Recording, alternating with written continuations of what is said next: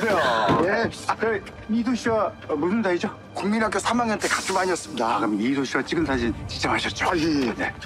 이게 봄소폭 때 찍은 사진인데 얼굴을 잘 알아볼려나 모르겠네. 상관없습니다. 와주셔서 감사합니다. 아유, 고맙습니다. 이쪽으로. 예, 예. 여기 희소 엄마랑 유치원 기간인데 희소 돌잔치 때 내가 갔었거든요. 봐요. 이소 맞죠? 제가 어렸을 때 얼굴은 잘 몰라서. 일단 통과! 진짜 사진만 보여주면 이소가 1억씩 준다는 게 사실이에요? 1억 뿐이니까 잘만 얘기하면 집도 사준다니. 아, 그 문중에 팍팍 쏘는 스케일 안 보셨어요? 아, 이쪽으로 들어가시면 예, 예.